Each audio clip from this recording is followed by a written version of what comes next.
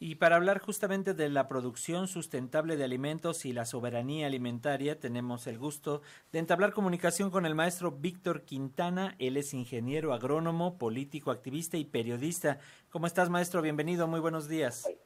Muy buenos días. No soy sociólogo, no soy ingeniero agrónomo. Ah, mira, aquí tenemos mal el dato, maestro. Gracias, gracias, sociólogo. gracias. Gracias, maestro. Pues eh, gracias por tomarnos esta comunicación. Y bueno, pues para comenzar, en un principio, este plan contra la inflación y la carestía, que arrancó en mayo, se centró en contener los precios eh, de los productos en las tiendas de autoservicio y ahora se está replanteando dicho programa pues considerando ahora otras eh, vertientes, lo escuchábamos en el reportaje previo, apoyos a los productores eh, del campo, congelamiento de, tarifas de autopistas, pero ¿cuál es tu balance y, y si desde tu punto de vista serán suficientes estas medidas que pues ya dijeron solo van a durar hasta febrero de 2023? Eh, yo creo que tiene que tiene que haber intervención del Estado así a corto plazo en otros ámbitos, por ejemplo, la producción de frijol no ha sido estimulada porque se mantiene un precio muy bajo al productor de 16 pesos, cuando el frijol, que me refiero al frijol, a los frijoles de variedades pintos, por ejemplo, que se producen acá y se consumen acá en el norte del país, cuesta hasta 30, 35 pesos en los supermercados. Entonces, hay que intervenir ante el intermediarismo, pero también hay que apoyar la producción eh, campesina, la producción local, con un esquema de precios de garantía que beneficie a todo el mundo, no nada más a los pequeños productores. A corto plazo es necesario estimular la producción de frijol, la producción de maíz blanco, porque el maíz blanco eh, es el que consume la población directamente. Es necesario también eh, apoyar a los pequeños ganaderos sobre todo en tiempos de sequía, porque en tiempos de sequía los pequeños ganaderos venden sus actos y lo venden a quienes son mm, mayores productores. Esto también va a encarecer el mercado.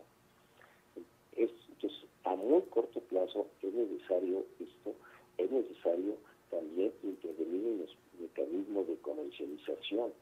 Por ejemplo, el frijol, que es lo que yo conozco más, está en manos de unos cuantos intermediarios y centrales de abastos a nivel nacional. Y esto encarece también el producto. Eh, y, a, mediano plazo es necesario eh, aumentar la producción de granos básicos, de oleaginosas, de leche y de carne, como decía ahorita, con base en precios de garantía, con base en estímulos para los productores.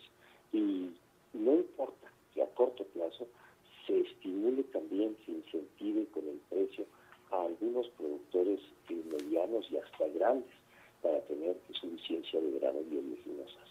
Al mismo tiempo, si es necesario, continuar con la política que ha hecho el gobierno de, eh, a través de producción para el bienestar, eh, asesorar a los campesinos para que tengan prácticas agroecológicas y aumenten, como se está aumentando, la producción de granos a nivel campesino, pero no es suficiente, no es suficiente. Tenemos que intervenir en eh, apoyar a otros productores para que aumente la disponibilidad de alimentos en el mercado nacional. Concretamente, maestro, como ya también escuchábamos en, el, en, la nota anterior, los ejecutivos de finanzas hicieron referencia a que la inflación en los alimentos es del doble es doble dígito, pero en concreto y con lo que nos está señalando, cuáles son los alimentos que están faltando y qué producción debería incrementarse para eh, hacer eh, contrapeso con estas medidas que están presentando.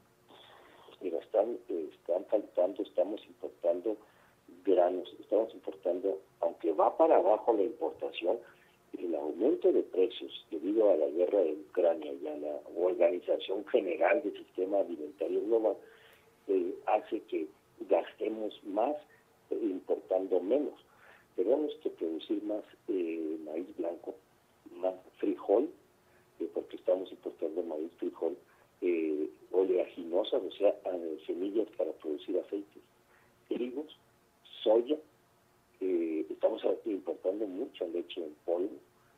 Entonces, en este, estos alimentos son los que tenemos que incentivar la producción aquí en México.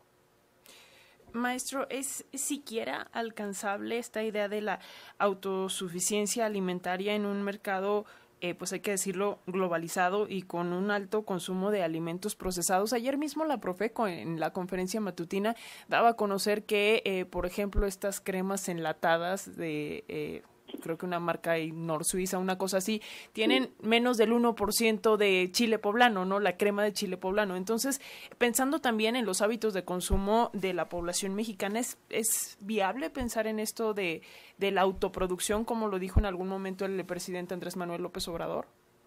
Es viable a mediano plazo y a corto plazo es urgente, es urgente el cambio de hábitos alimentarios en la población.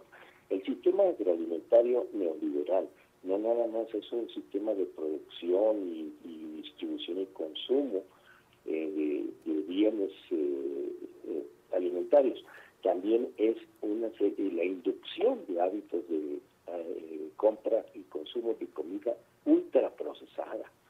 Entonces ahí hay que también estar incidiendo, porque así como al país de enero a agosto le costó 11 mil millones de dólares la importación, 11.798 millones de dólares la importación de alimentos, nos sale muy caro también al sistema de atender la obesidad, la mala, eh, la malnutrición, la diabetes producida por los hábitos actuales, eh, inducidos por el sistema que promueve la comida ultraprocesada. Entonces, tiene que ir de la mano tiene que ir de la mano una cosa eh, con otra. Y eh, culturalmente es, necesario un cambio también. Por ejemplo, los jóvenes, el frijol, que es un buen alimento, eh, tiene muy mala fama entre los jóvenes. Se considera comida de pobres, comida que tiene ciertas desventajas, y sin embargo es mucho mejor como es un plato de frijoles que vienen directamente del productor a comer una serie de cremas enlatadas, como acaban de enseñar ahorita, es mucho mejor para la nutrición. Entonces, la soberanía alimentaria no significa nada más cuestiones productivas, también significa cuestiones culturales, también significa un rescatar los alimentos autóctonos y rescatar sobre todo los mercados locales. Eh, no tenemos por qué estar importando frutas exóticas de países muy lejanos que salen muy caro, que generan eh, una gran eh, contaminación del medio ambiente por la energía fósil que requieren para su transporte, sino necesitamos desarrollar mercados locales. Comer lo local, como por ahí dicen, comer es un acto político también. Entonces, comer lo local comer de acuerdo a la tradición cultural y comer eh, lo producido por productores de cercanía. Sí, sin duda, como bien señalas, maestro, también tiene que, que, ver con la cuestión de salud, la cuestión de, como señalaban, de los alimentos procesados, las consecuencias que tenemos ahora con, con el sobrepeso y la obesidad en el país y también con la cuestión del apoyo al campo nacional, como también conocemos, que es muy amplio en nuestro país. ¿Qué es lo que nos recomendarías finalmente, maestro, a la ciudadanía en general para que también colaboremos en este punto? Ya nos decías consumir local, ir hacia lo que significan los eh, sobre ruedas, los mercados, los tianguis, en lugar de andar yendo a los supermercados. ¿Qué otras cuestiones nos recomiendas? Como, señalábamos ahorita, eh, comer lo producido en cercanía por productores locales, eh, comer menos comida, ir disminuyendo la comida ultra procesada, que además sale muy cara, recuperar ciertos platillos tradicionales que son y ciertas comidas tradicionales que son altamente nutritivas. Eh, y bueno, hacer ejercicio obviamente y revalorar los productos locales revalorar eh, los productos locales por sobre estos hábitos que hemos adquirido de consumo de otras latitudes. Eh, y, yo creo que también es muy importante que eh, cambiemos culturalmente y digamos, no, no todo lo que importamos, no todos los hábitos que importamos del extranjero son buenos. Hay muchos que nos dañan y sobre todo hay que ir eh, cambiando